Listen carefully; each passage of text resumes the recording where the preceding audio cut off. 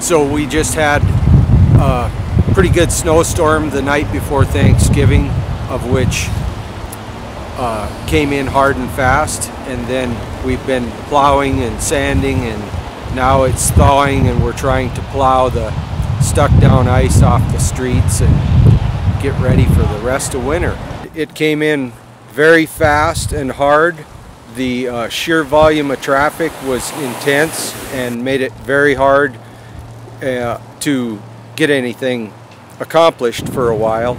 And so therefore the uh, snow got packed down, followed by really very cold temperatures and uh, which turned to very, very hard ice that is basically bulletproof until Mother Nature helps you out and it melts to a temperature that you can cut it off of their road.